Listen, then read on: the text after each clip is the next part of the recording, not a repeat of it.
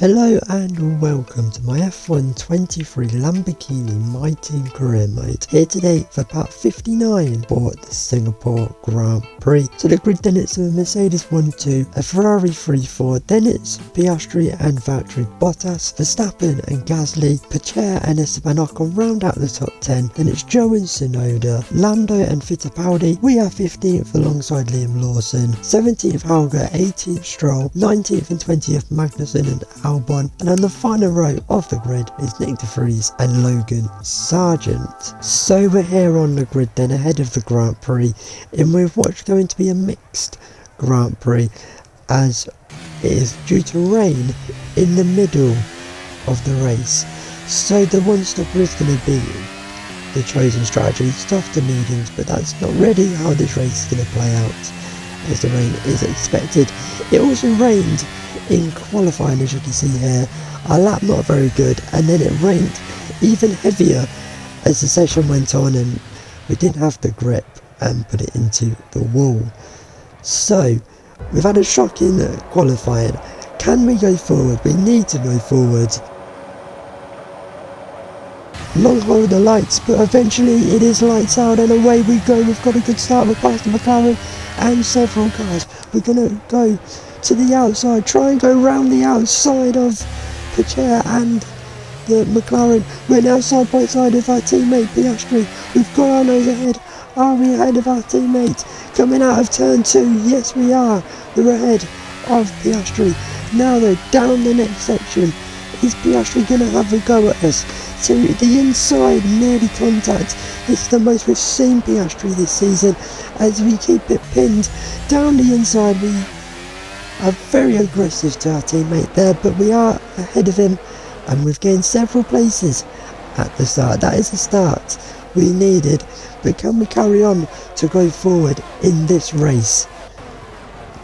It's now though skipping on to lap 2, started to fall back from the Ferrari and continued to come under pressure from our teammate as to the inside goes Piastri and Piastri is through as we have a big, big tank slapper and Pourchaire tries to get down the inside of us and there's a contact there on the exit of the corner. And Pourchaire had big big damage because he had a trolley train behind us like we had in Zandvoort. As now this is Zhou trying to get down the inside of Pourchaire, Pourchaire keeps him behind and this is just allowing us to pull away. We seem to have good pace in this early stint on on the soft tyres there's now Zhou still all over the back of the Aston Martin. It must have big damage. A bit like Sainz last time out in Monza after the contact with Zhou as round the outside goes Zhou and he's past the Aston Martin and now Esteban Ocon is on the back of the Aston Martin. He's going to go to the outside. It's French driver the French driver and it's Ocon who comes out on top and is through and ahead of the Aston Martin. As we were just managing the pace lap 8 we weren't. We were falling back to our teammates and the tyres were starting to cook a little bit. We were starting to slide around on lap 8 the rain is on its way. And eventually we were caught by Zhou so our pace that I thought we had early on weren't really pace. It was just that Pourchaire was so slow as we lose out to Zhou There was nothing really I could do about that going into turn 5. Watch the conditions, we think there's rain coming pretty soon. Be careful. Dries definitely seem like the Mark saying the rain is coming down very soon as we just was trying to stick with Zhou and this is Carlos Sainz He's starting on the soft tyres he's just boxed four mediums and he's going to come out side by side of Pourchaire and he's lost out to the Aston Martin. But with the rain minutes away, have Ferrari just screwed over their driver? Sainz very nearly won in the last race at Monza and he needs to find a way past the Aston Martin quickly because this Aston Martin is so slow. Look at the train behind him, it is down the inside and it's job done for Carlos Sainz. great move for him. As now he goes over the bridge. And on lap 11, you can see here, the rain is starting to come down. Okay, I think we're still the right tyres for the time being. Mark thinks we're still on the right tyres and we just need to keep it going. It's a very long lap here, so if the rain does come down, you're going to have a big pace advantage if you time it right. And you can see the track now. We are skating.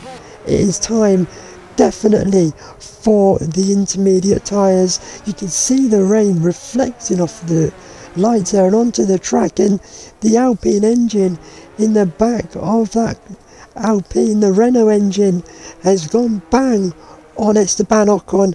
And that is pretty much bang on where he retired in the real life Singapore Grand Prix.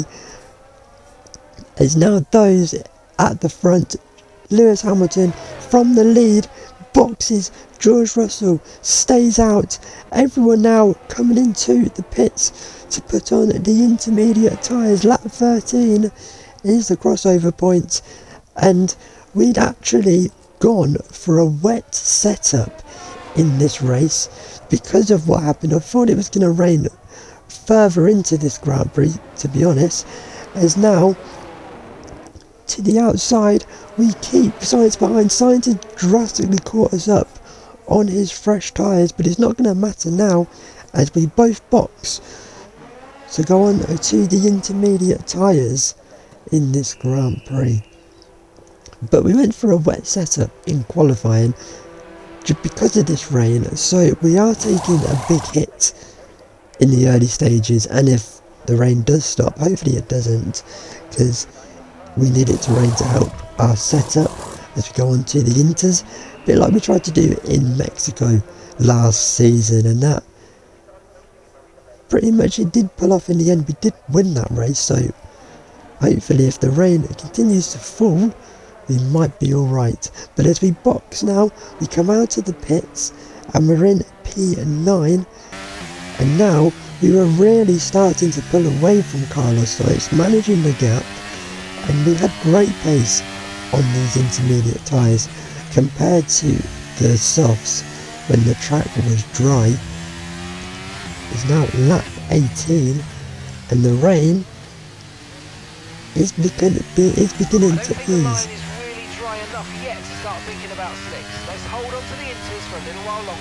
As we near we nearly hit the wall there, but the rain is easing off a little bit. The it's still coming down there's now Sainz has broken the DRS on. It's not like it matters that it's not activated. But as we run wide, we were starting to slide around a little bit. Sainz is on the inside of us. The battle continues from last time out at Monza when we were battling for the lead. This time it's P9. We're side by side. We're going to show the Spaniard the door and stay ahead of Carlos Sainz for now. But now he's going to have a good run down the back straight, but he's too far back to have a go on us. But now though, lap 19, the rain has stopped. As, as though it doesn't look like it from the reflection, but it has stopped as we go a bit deep there through the chicane. And I think it is time for the dry tyres, back to the dry tyres. And if we can time this right, we can gain a lot of time here. So we're going to gamble, go for it. We're P9, what have we got to lose in this Grand Prix? Though the annoying thing is that it has stopped raining because it it is going to mean that we are going to start to struggle again with the setup. But it does mean we can go back onto the softs, don't have to use two different types of compound now that the race has gone wet and we've gone onto the wet tyres and now gone back onto the dries. So with 11 laps to go we can go to the end on these soft tyres if they hold up. Hopefully they should do. But unlike last year's car when we struggled on the soft tyres in damp conditions like this it seems to be better this year as those at the end of the lap are all boxing now to go on to the dry tyres. So we'll see what tyres they're thinking. We've gone with softs. What are the other teams thinking then? As this is George Russell cutting down the pit lane and they're going to go I think that's the hards on the mediums, on the Mercedes. He's gone to the hards. Interesting there. Looks like you really want hards on a damp track. But this is Carlos Sainz now, boxing, has really been taken out of contention in this race because of that Ferrari pit stop. Literally a lap before the rain started to come down. But he's going on to the softs as well as Carlos Sainz. And now where do we come out relative to him? There we are. We retake the position off of Carlos Sainz and we are a fair distance up the road now as Carlos Sainz exits the pit, pit lane and into free turn 3 and we've got quite a big gap on him now.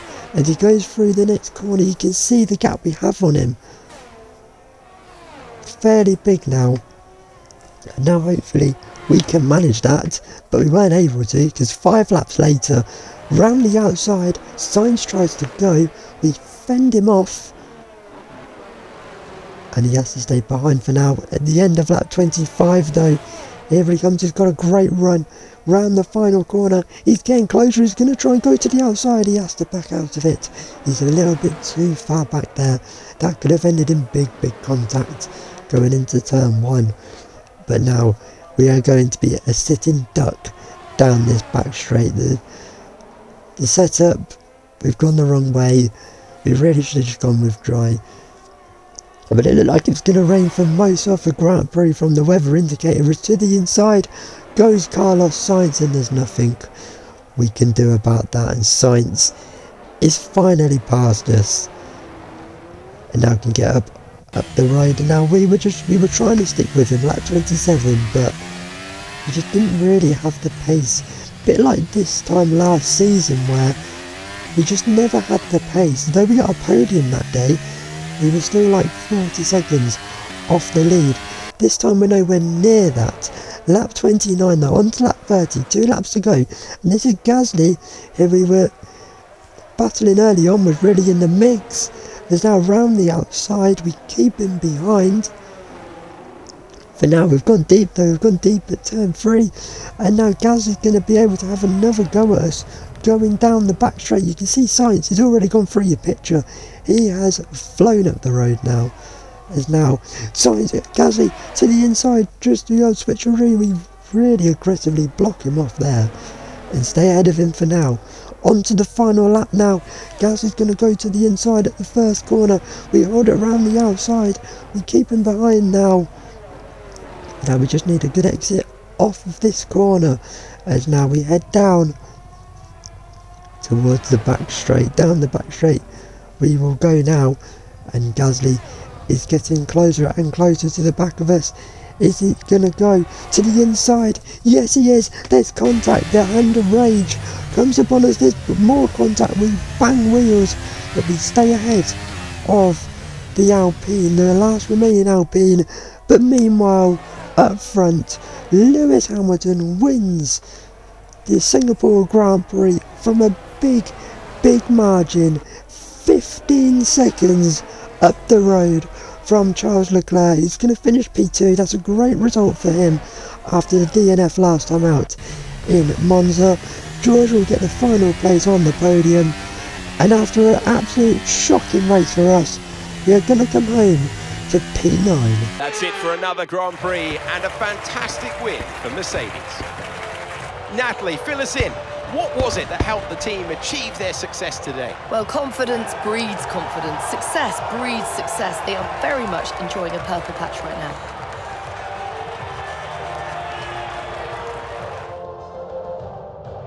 Mercedes are on top form once again after an excellent race weekend. It's great to see them up on that podium once again.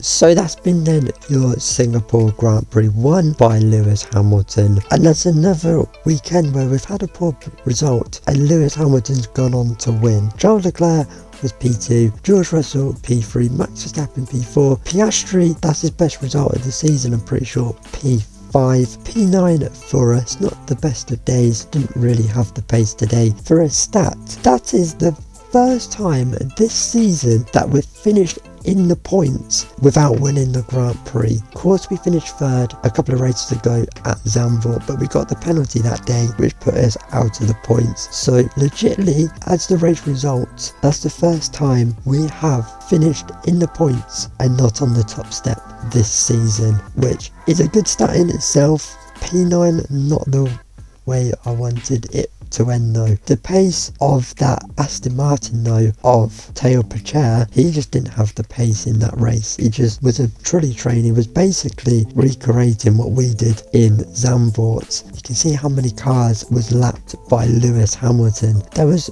one retirement in this Grand Prix, that being Esteban Ocon. So in terms of the championship then, the gap has been cut down by Lewis Hamilton with that win and the poor result for us. The gap now 31 points it was 48 coming into this Grand Prix. Lewis Hamilton now has jumped Max Verstappen once again in the championship after Verstappen jumping him last time out in Monza due to that podium finish in terms of the constructors then and after we really had been getting the gap down a result like that a 1-3 for Mercedes and a P5 and a P9 for us it means the gap now has gone up to 31 points between us and Mercedes but there are still a few races to go this season, so hopefully we can crawl this back. And Haas, the only team who are still yet to get a point on the board this season. But that's been then your Singapore Grand Prix. Not the best of Grand Prix. We just didn't have the pace today. Our best part of the race was when it rained because of the setup. The next race though, we go to Japan. The last time we raced in Japan we had that big crash with George Russell. I'll see you in Japan. Goodbye.